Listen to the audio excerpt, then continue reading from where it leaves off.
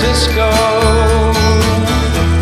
Be sure to wear some flowers in your hair.